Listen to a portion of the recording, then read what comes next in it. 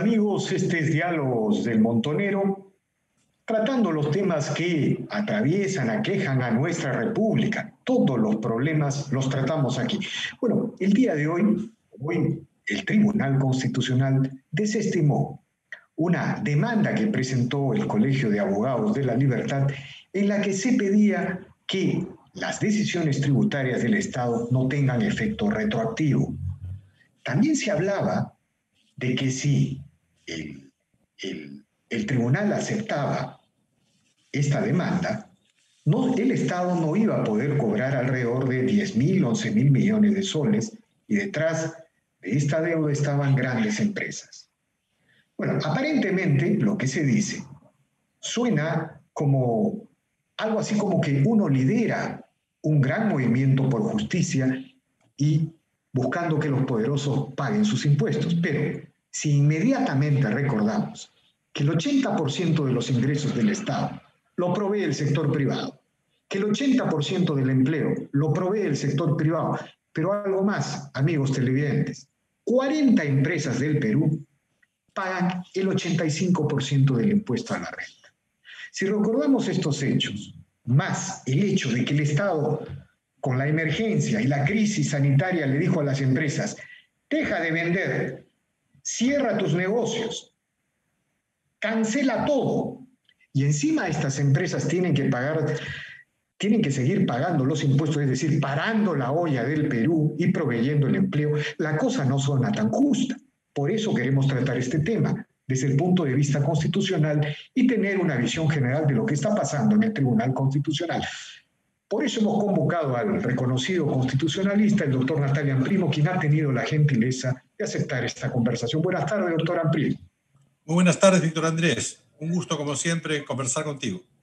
Bueno, muy rápidamente, el día de hoy el Tribunal Constitucional desestimó la demanda, que en, que en síntesis pedía que las medidas tributarias de este decreto legislativo 1421 no se aplicara retroactivamente ante los procesos administrativos que las empresas tienen con la SUNAT. ¿Qué nos puede comentar al respecto? Explíquenos, por favor. Bueno, yo quiero decirle, yo, le hablo como, como, diríamos, alguien que ha analizado el tema, pero no soy abogado patrocinante en esa causa, ¿no? ni, ni he intervenido. Bueno, por eso lo hemos convocado, por eso lo hemos pero, pero sí con motivo de un trabajo eh, que hice para una maestría que estoy estudiando. Eh, justamente eh, trabajé el tema de la prescripción tributaria de la óptica constitucional. Entonces, a raíz de eso, me introduje en el, en el tema sin saber que a los pocos meses esto iba, iba a estar en, esta discusión. A ver, veamos. En primer lugar, la prescripción es una figura jurídica por la cual alguien adquiere un derecho o queda liberado de una obligación. Y en materia tributaria, eh, eh, la prescripción también existe. Eh, la SUNAT tiene tres, tiene, diríamos, tres funciones, ¿no? Diríamos que es, determina la deuda tributaria, tiene la facultad de la cobranza tributaria y tiene la facultad de imponer las multas. Entonces, el Código Tributario, vigente desde el año 96, contempla que para estas tres funciones la SUNAT tiene un determinado plazo en el cual puede actuar. Y si no, lo que ocurre es que prescribe esta facultad de la SUNAT. Inicialmente, el plazo de prescripción, tanto para la fiscalización y determinación de la deuda, como para la cobranza, como para la imposición de multas, empezaba el mismo día. ¿De acuerdo? ¿El mismo día de la notificación? No, el mismo día en el cual se genera la obligación tributaria. Ok. O sea, yo debo eh, hacer una declaración en tal fecha. A partir de ahí se cuenta el plazo que tiene la SUNAT para fiscalizarme, determinar eh, la obligación tributaria, diríamos, cobrarme y multarme. ¿De acuerdo? Pero son, son eh, aspectos sustantivos que tienen una reglamentación diferente. ¿De acuerdo? O sea, eh, eh, son tres figuras complementarias, pero que tienen una regulación diferente. Entonces, ¿qué ocurrió? En el año, eh, en el año 2012, se emite un decreto legislativo en el cual se modifica el código tributario.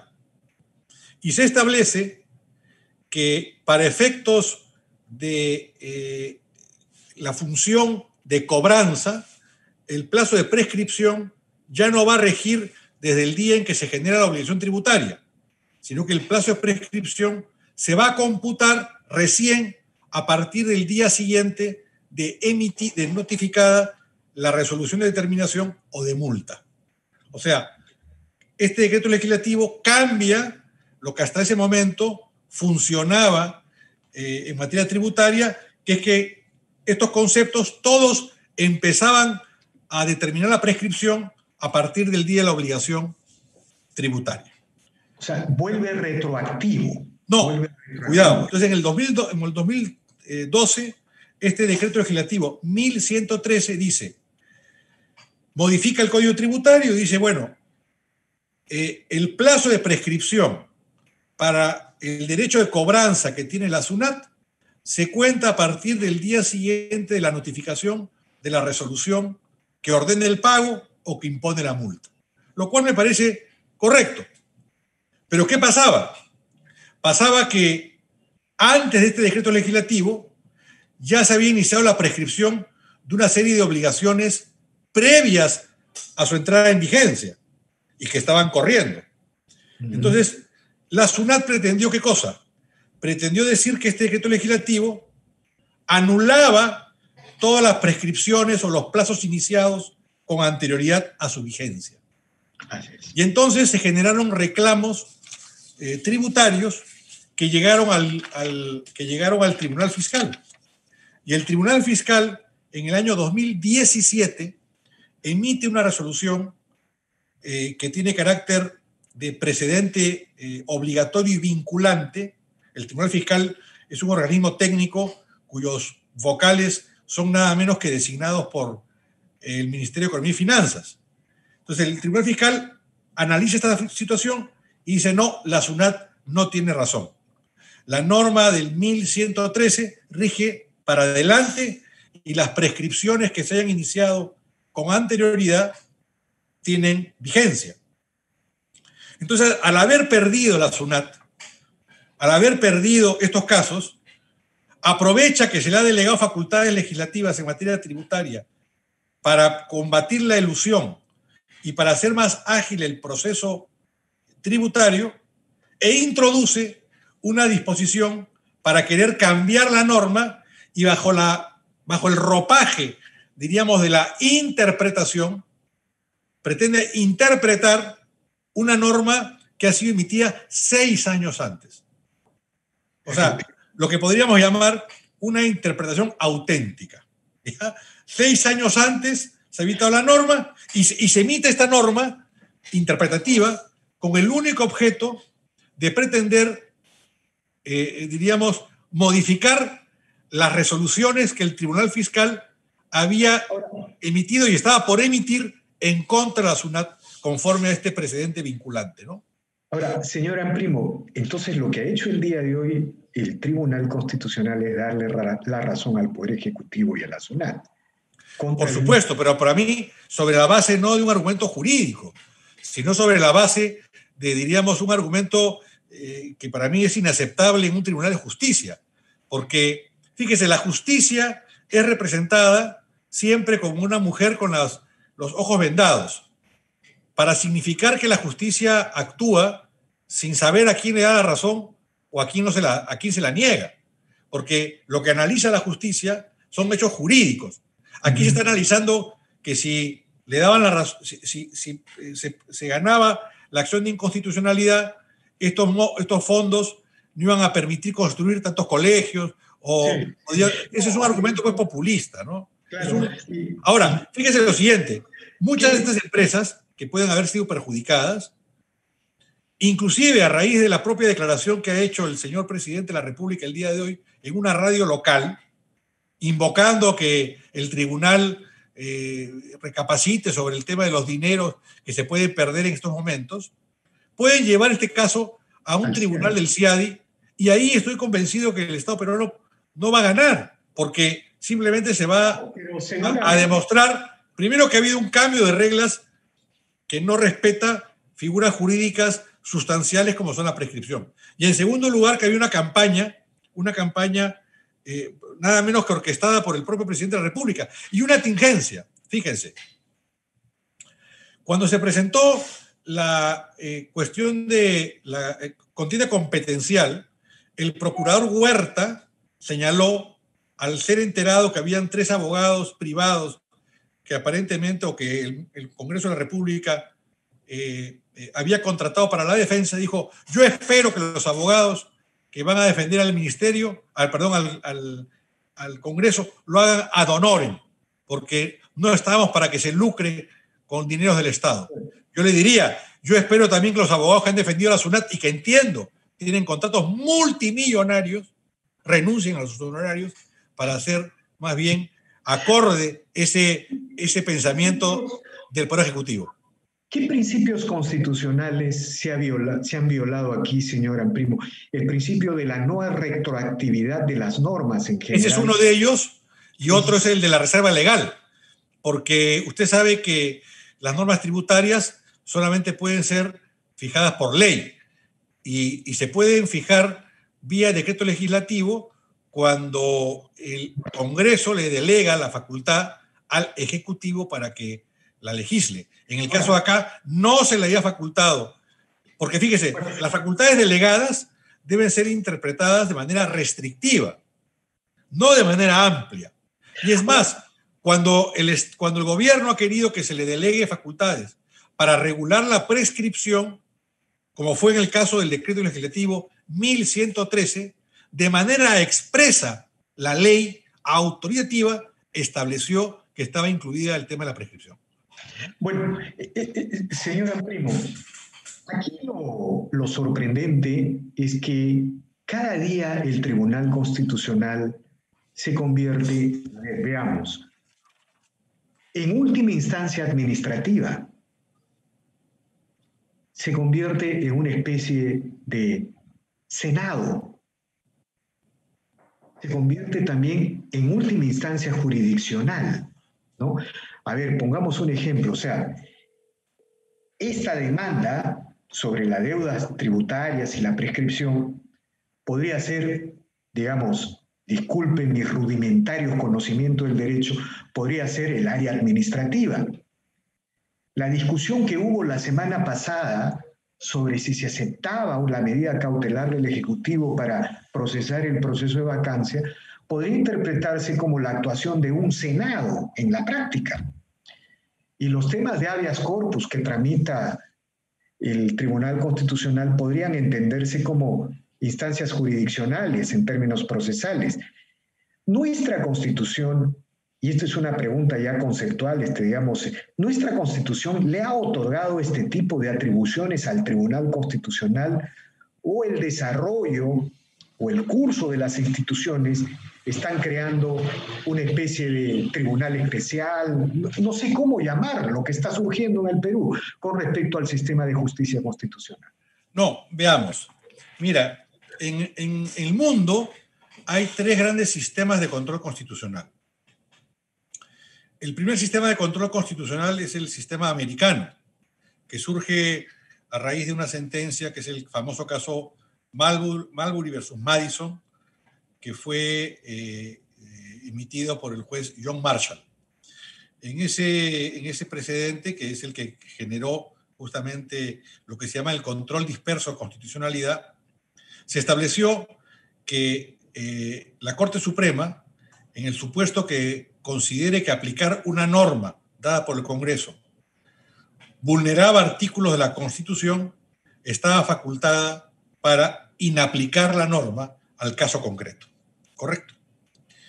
Después, eh, en el periodo entre, las, entre guerras, entre la Primera Guerra Mundial y la Segunda Guerra Mundial, tres juristas notables, bueno, Kelsen, Eisenman, eh, Mirkin Wetsevich, crean, eh, hablan de crear un organismo ad hoc, un organismo especializado, que ya no va a ver la causa de un tema puntual, sino que va a ser un análisis erga omnes, un análisis genérico sobre si una norma dada por el Congreso, dada con rango de ley, contraviene o no la Constitución. Porque no se olvide usted que en el devenir del derecho constitucional, la Constitución pasa de ser un documento eminentemente político, nadie invocaba en un juicio la Constitución, la Constitución era una suerte de principios políticos, pasa a convertirse en norma jurídica. Y en consecuencia, la Constitución es el punto más alto de las normas jurídicas. Y entonces todos estamos obligados a cumplir aquello que la Constitución establece. Entonces, ¿quién controla que se respete eh, ese, cumplimiento a las normas constitucionales? Entonces, surge en Europa el control concentrado a través de los tribunales constitucionales. El tercer sistema es el sistema que se aplica en los países que, prácticamente, bueno, es un sistema de nombre, porque es el sistema político, es el sistema que se aplicaba en la Unión Soviética, que es el sistema que se aplica en Cuba, en virtud del cual el propio órgano que da la norma, o sea, el Congreso, evalúa si su norma es inconstitucional. Poco probable, pues, que el propio órgano, el propio autor del asesinato diga, pues, que es el asesino, ¿no? Pero, en fin, esos son los tres sistemas, grandes sistemas mundiales. Hay después sistemas eh, duales o sistemas mixtos. el Perú tiene un sistema dual. O sea, en el Perú funciona el sistema americano y funciona el sistema europeo. Pero nunca se imaginaron, nunca se diseñaron estos sistemas de control constitucional para suplantar las funciones de los demás poderes del Estado. No, lo que pasa es lo siguiente, mire, lo que pasa es lo siguiente. El Tribunal Constitucional es el máximo intérprete de la constitucionalidad y evidentemente tiene un rol eh, eh, eh, muy importante y más que un Senado, porque el Tribunal Constitucional le puede corregir la plana al Poder Judicial, le puede corregir la plana al Congreso, le puede corregir la plana al Poder Ejecutivo.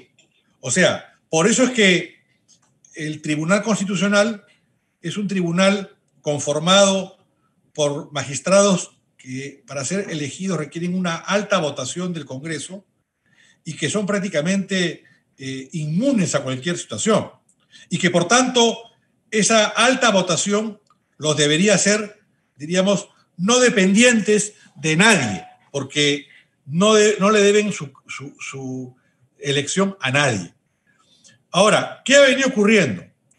Estamos viviendo una etapa en la cual la verdad eh, a veces, primero que hay cierta, diríamos, cierta tendencia ideológica en la composición del tribunal. Hay que entender que lo constitucional es la intersección entre lo político y lo jurídico.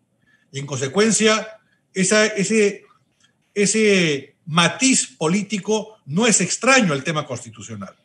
Y tampoco debe ser extraño al tribunal, ¿no? Sucede en todos lados, ¿no? Pero digamos. Así es. Ahora, con la muerte de esta, de esta integrante de la Corte Suprema, de esta señora, el reemplazo ha desatado, el eventual reemplazo que va a nombrar el presidente Trump. Bueno, porque hay, mire, tanto en todas partes cuecen habas.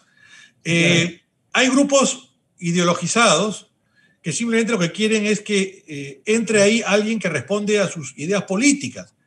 Y si entra otra persona que tiene ideas diferentes, aunque sea una persona honesta, capaz, formada, se le cuestiona. O sea, aquí lo que se quiere es asentar lo que se ha llamado en el mundo el pensamiento único hay un sector que considera que es el único que puede ser elegido o que puede eh, eh, dirigir o autorizar quiénes son los llamados a ocupar determinados cargos, y eso es inaceptable, pues. Porque justamente lo que busca la Constitución al establecer una elección por tan alto número de votos es justamente una, diríamos, representación plural plural. Yo, yo por ejemplo, he escuchado, he escuchado a un señor argumentar supuestamente constitucionalmente que, por ejemplo, el actual Congreso no debería elegir los seis reemplazantes del Tribunal Constitucional cuyos mandatos ya han expirado. Pero mire, mire, mire, Víctor Andrés. Eh, déjeme terminar. Sí, sí, cómo no este señor dice que hay un conflicto de interés del Congreso con el tribunal porque hay una contienda de competencia en camino. Bueno, este, yo le mencionaba esto a propósito de esta idea del pensamiento único, ¿no? En el Perú, por ejemplo, señora Primo, muy rápidamente, la decisión del Tribunal Constitucional de no intervenir en el proceso de vacancia ha sido una decisión muy sabia, a pesar de todas las críticas y de todos los errores que podamos tener contra el tribunal, porque después de este proceso de vacancia, cualquiera haya sido el resultado, las instituciones han funcionado, han permanecido en pie. Entonces, pero digamos, de nuevo le reitero mi pregunta, ¿está funcionando el Tribunal Constitucional de acuerdo a los cánones eh, pensados o la ideologización, la guerra ideológica lo está pensando a tal extremo que se está desdibujando, desfigurando su función? No sé. Bueno, partamos por lo siguiente. Mire, el anterior Congreso fue, eh, desde mi óptica, inconstitucionalmente, diríamos, eh, cerrado, ¿no? Disuelto, porque justamente se quiso frustrar la elección del tribunal magistrado del tribunal, porque en, esa, en esos candidatos diríamos que el sector llamado progresista, que hoy tiene ciertos conspicuos representantes en el tribunal, lo iban a dejar de tener. Pero los candidatos que habían eran candidatos de lujo. Les menciono algunos. Eh, ¿cómo se llama? Eh, Carlos Hackanson, ex decano de la Facultad de Derecho de la eh, Universidad de Piura, Manuel Sánchez Palacios, eh, expresidente de la Corte Suprema y el Jurado de Elecciones, Delia Muñoz, ex procuradora del Perú en casos supranacionales, el doctor Álvarez, ex magistrado del Tribunal y, y, decano de la Facultad de Derecho de San Martín, el propio magistrado que salió elegido y que después fue víctima de todo tipo de, diríamos, eh, epítetos para desdibujar su imagen. Ese tribunal era un tribunal de lujo, pero se hizo todo por frustrar la votación, porque simplemente ahí no había un determinado número de magistrados o de candidatos que respondían a este sector determinado de la política. Ahora se nombra un nuevo Congreso y no se puede, yo puedo discrepar con el Congreso y con su composición. Es más, yo soy uno de los más críticos en el sentido de señalar que si se cerraba el Congreso anterior, lo que iba a venir es lo que tenemos el día de hoy. Pero lo que yo no puedo hacer como demócrata es decir, ese Congreso que está ahí, que tiene funciones de acuerdo a la Constitución, porque a mí no me gusta, no puede ejercer esas funciones. Porque eso es un golpe de Estado, pues. Eso, eso no es un demócrata. Hay, hay, un clima, hay un clima de intolerancia que se empieza a levantar como una ola. No obstante que, digamos, este sector que fomenta este clima de intolerancia viene, digamos, si queremos resumir o reducir el término, triunfando políticamente en todos los aspectos. Mira, hay un sector, hay un sector que cree que funciona aquí en el Perú la ley del embudo que es lo ancho para ellos y lo angosto para los demás. Ah, Ahora, sobre la base de fijar eh, requisitos a lo que se ha llamado el reglamento de evaluación de candidatos a magistrados, se va a querer manejar el tema. Fíjese, ayer escuché a un abogado que es muy, muy proclive a, a, defender todo lo que el gobierno sostenga. Plantear la cuota de género. Es decir, no, no solamente eso.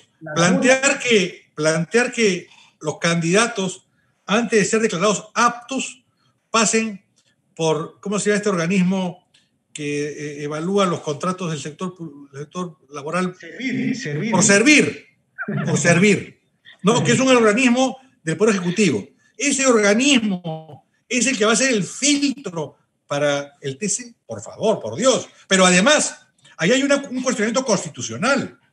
Los requisitos que tiene el tribunal, los candidatos para el tribunal, o los futuros magistrados están puestos en la Constitución.